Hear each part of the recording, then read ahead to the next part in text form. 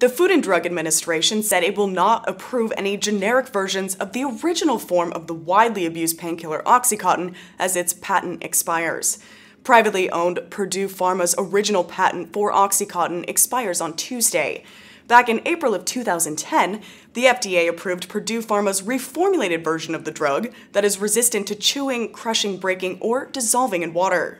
Oxycontin is one of the most powerful and abused painkillers on the market. The original version can be snorted, injected, or smoked to produce a quick high.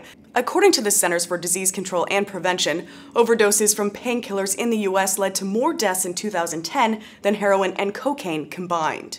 Purdue's new version was designed to discourage the painkiller's abuse, and when it's dissolved, it simply turns into a jelly. When the FDA approved Purdue's reformulated version of Oxycontin three years ago, they called it a step in the right direction.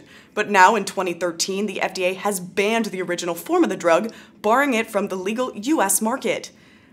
The FDA said in a statement the FDA has determined that the benefits of original Oxycontin no longer outweigh its risks.